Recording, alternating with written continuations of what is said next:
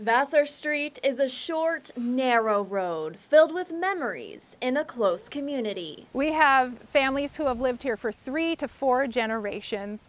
Um, it's a small family-friendly neighborhood, a very narrow road, lots of kids, dogs. Behind Vassar Street, more than a dozen acres of undeveloped land. The property's owner wants to rezone it to build more housing, leaving neighbors worried. Our concern is that a dense development on this plot of land is going to negatively impact Amity Creek and the watershed, which is directly behind us here. The proposal would rezone 16 acres on this portion of Vassar Street from rural residential to residential traditional, which means instead of three homes being built here, there could be upwards of 30. Currently, there's no development proposal, just a rezoning request. City councilors say Duluth needs more housing but understand the environmental concern. They made an amendment. It would keep part of the site closest to the creek rural residential. I think it's a fair compromise, and I think it'll help put neighbors' minds at ease uh, and show that we are committed to responsibly